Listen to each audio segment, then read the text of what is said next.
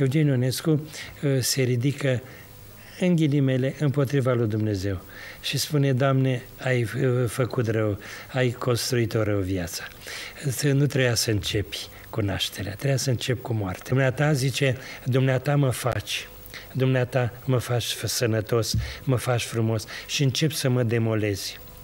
Domnul Eugen Ionescu a fost întrebat într-un interviu, care e cea mai mare durere?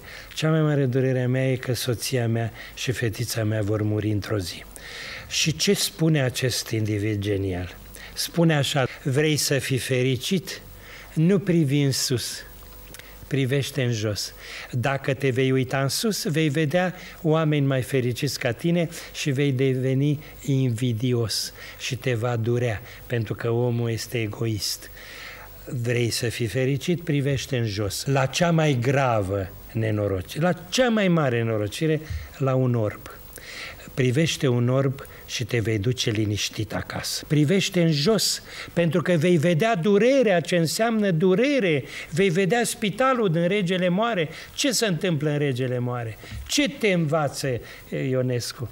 Să, să, uh, să preamărești, să să mulțumești lui Dumnezeu pentru prezentul pe care îl trăiești, pentru că regele, ce spune Beranger?